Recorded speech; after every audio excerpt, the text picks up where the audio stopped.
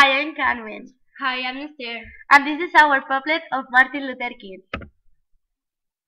He was born on 15th of January in Atlanta, Georgia, USA. His birthday was on 50th of January. He studied PhD at the University of Boston. His job was American pastor of the Baptist Church. He defended the racial separation. I have a dream.